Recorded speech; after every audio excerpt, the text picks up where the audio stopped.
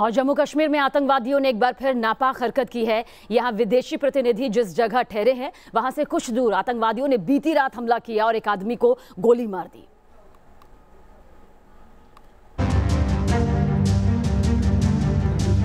जम्मू कश्मीर की बदलती फिजा और दुनिया के सामने घाटी की रोशन तस्वीर दिखने लगी तो आतंकवादी बौखला उठे।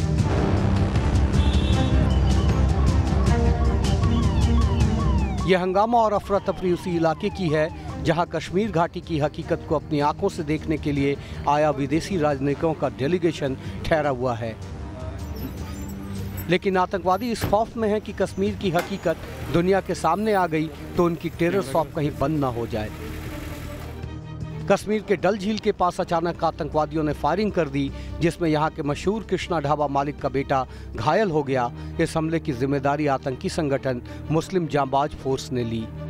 मिलिटेंट्स ने फायर खोला, जिसमें जो कृष्णा डाबा यहाँ पर आप विजुअल्स में देख पा रहे हैं, इसके जो एक वर्कर हैं, उनको गोली लगी है, उनको हॉस्पिटल शिफ्ट कर लिया गया है। पुलिस का कहना है कि वो स्टेबल कंडीशन है। और मैं आपको ये बता दूँ कि ये ये ढाबा जो है तकरीबन डेढ़ किलोमीटर दूर है उस होटल से, जहाँ पर जो ऑनवॉइज आज कश्मीर जो डेलीगेशन आई हुई है, वो उनको रखा गया है।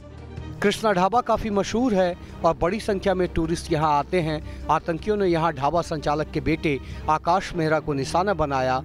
फायरिंग के बाद आतंकी बाइक पर सवार होकर फरार हो गए। हमले के बाद तुरंत सुरक्षा बल हरकत में आ गए और इलाके को सील कर दिया। जम्मू कश्मीर के पूर्व मुख्यमंत्री उमर अब्दुल्ला ने भी आतंकियों की इस काराना हरकत की निंदा की है। उमर ने ट्वीट किया कि, श्रीनगर में कृष्णा ढाबा पर हुए हमले के बारे में सुनकर बहुत दुख हुआ।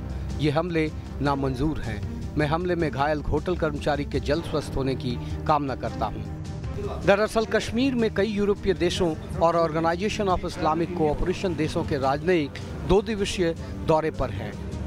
इनमें यूरोपीय संघ, France, Brazil, Italy, Finland, Cuba, Chile, Portugal, Netherlands, Belgium, Spain, Sweden, Kyrgyzstan, Ireland, Ghana, Estonia, Bolivia, Malawi, Eritrea और आइवरी कोस्ट के राजनयिक के अलावा ओआईसी के चार देशों, मलेशिया, बांग्लादेश, सेनेगल और ताजिकिस्तान के राजनयिक शामिल हैं। ये दल आर्टिकल 370 हटने के बाद हाल में हुए जिला विकास परिषद चुनाव के बाद की स्थिति का जायजा ले रहा है। डेलीगेशन ने बुधवार को चुनाव में जीते नेताओं और सिविल सोसाइटी के प्रतिनिधियों से मुलाकात भी की है।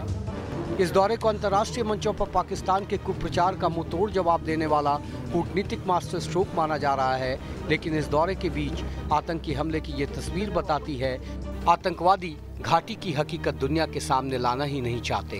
पहले से ही उन ऑनवॉइस को लेकर जो है सिक्योरिटी फोर्सेस रेड अलर्ट पर थे, हर जगह पर सिक्योरिटी बढ़ा दी गई थी, पर बावजूद उस सिक्योरिटी बैरिकेडिंग के यहाँ तक मिलिटेंट्स पहुँच पाए और उन्होंने ये अटैक अंजाम दिया। वीडियो जर्नलिस्ट मोहम्मद यूनस के साथ इदरीस लोन न्यूज़ नेशन श्रीनगर।